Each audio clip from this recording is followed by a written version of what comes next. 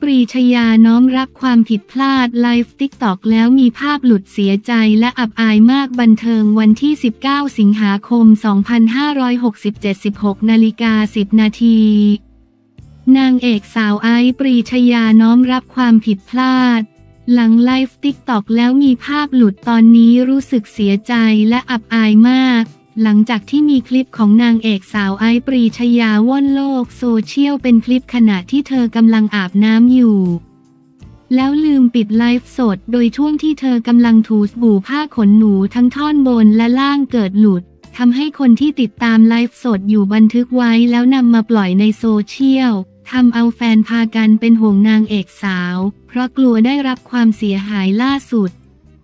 ผู้สื่อข่าวข่าวสดได้ติดต่อสอบถามไปทางผู้จัดการส่วนตัวของนางเอกสาว ถึงสภาพจิตใจ ซึ่งก็ได้คำตอบว่าไอซ์ฝากขออภัยทุกคนมาณที่นี้และขอความเมตตากรุณาจากทุกท่านช่วยหยุดแชร์หรือเผยแพร่สิ่งนี้ ตอนนี้รู้สึกเสียใจและอับอายมาก และยอมรับความผิดที่ได้ทำพลาดไป ถือว่าเป็นบทเรียนครั้งสำคัญของไอซ์ในเรื่องการไลฟ์และการลง content บน social platform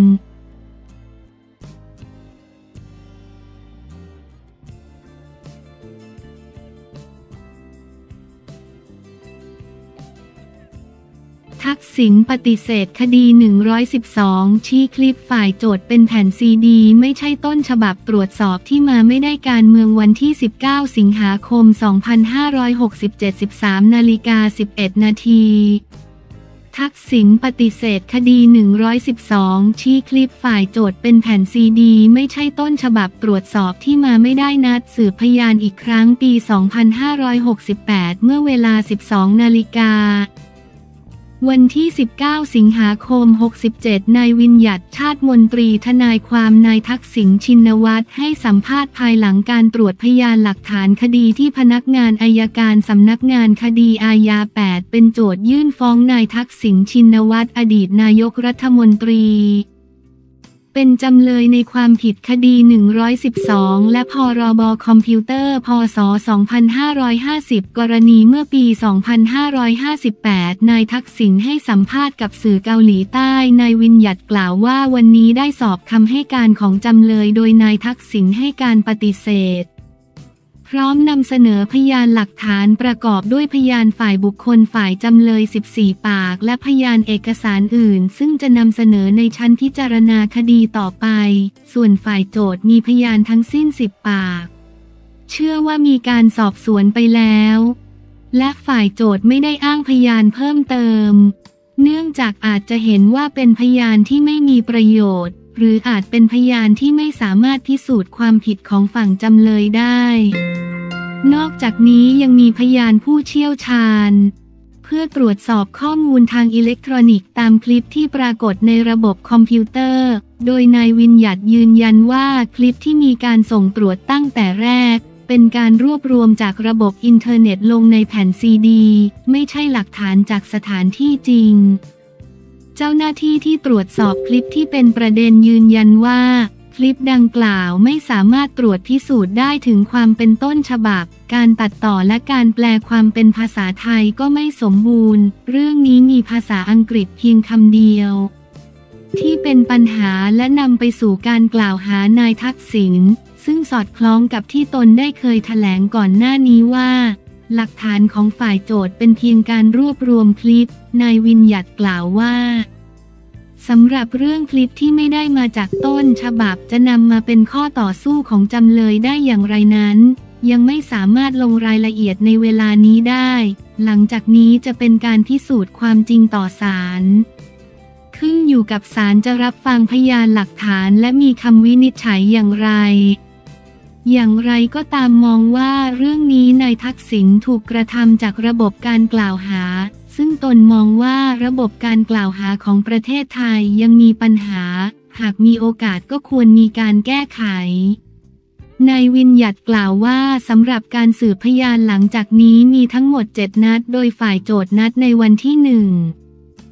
2. และวันที่ 3 กรกฎาคม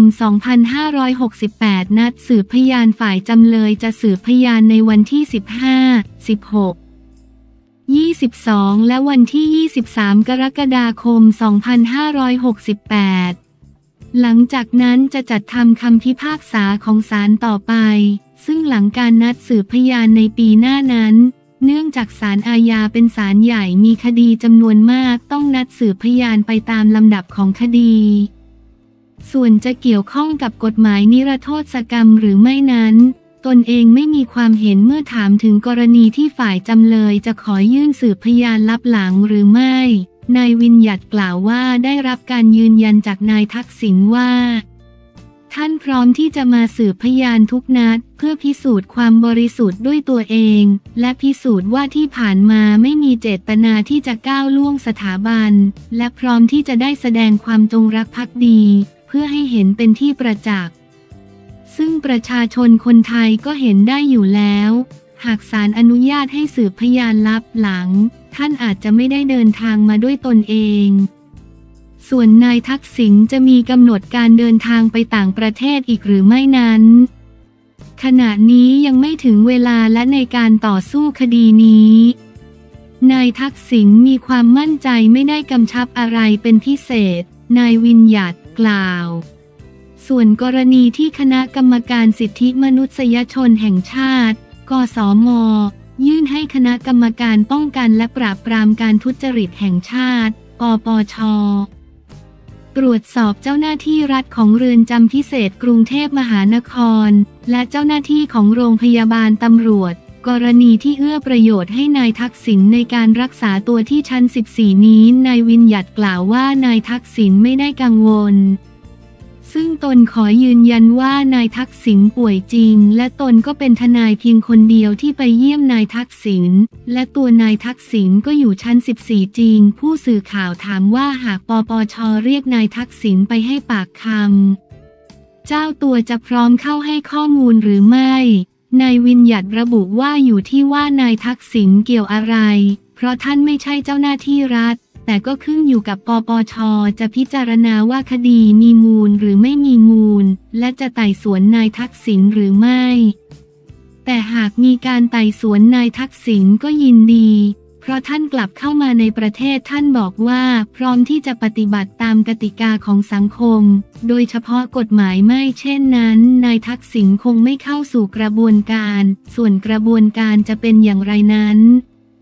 ก็เป็นเรื่องในหลาย ๆ ส่วนที่เกี่ยวข้องทักษิณชินวัตรยิ้มออกจากศาลโบกมือบอกไม่มีอะไรหลังตรวจพยานคดี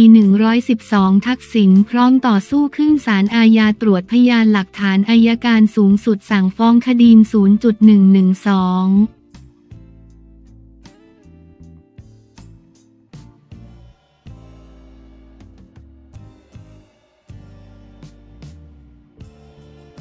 รุ่งโรดมั่นใจปิงปองพาราไทย ผลงานเยี่ยมหลังทุกตัวฝรั่งเศสก่อนลุยปารีสเกมกีฬาวันที่ 19 สิงหาคม 2567 14นาฬิกา59 นาที ปิงปองพาราไทยเก็บตัวเมืองบูกวงชาลิเยอร์ประเทศฝรั่งเศสก่อนลุยพาราลิมปิก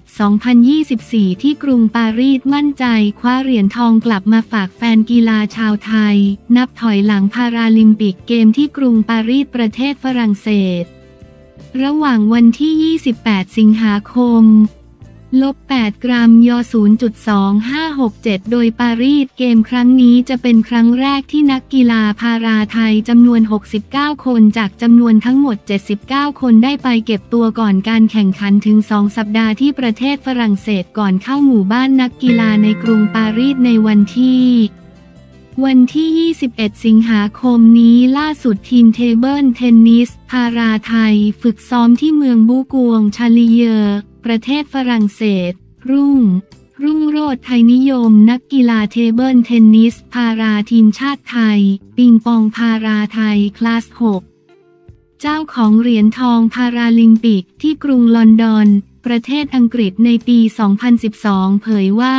มีการปรับสภาพของสนามซ้อมจากพื้นปูนให้เป็นพื้นยางตามสนามแข่งขันจริง ตอนนี้อยู่ในช่วงศึกษาคู่แข่งและปิดจุดด้อยของตัวเองตามแผนของโค้ช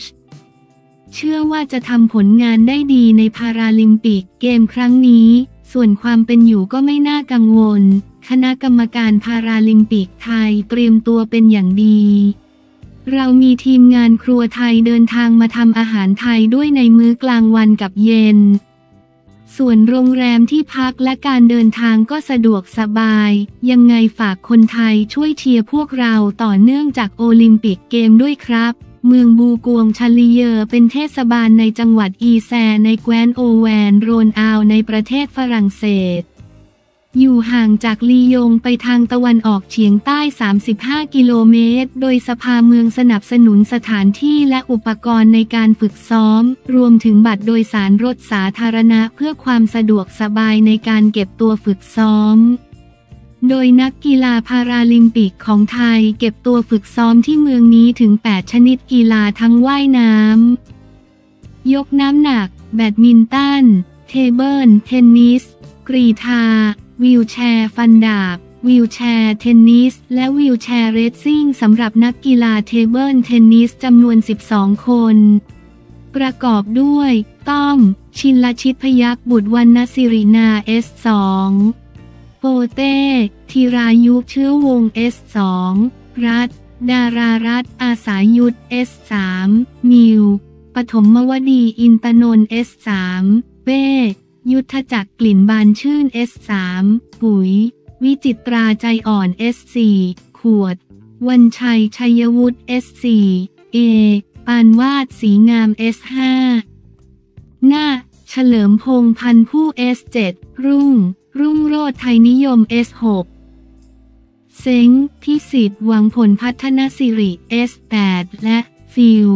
บรรพศศิลปะคง S10 โดยการแข่งขันพาราลิมปิก เกมที่กรุงปารีสประเทศฝรั่งเศสจะมีขึ้นระหว่างวันที่ 28 สิงหาคมถึงวันที่ 8 กันยายน 2567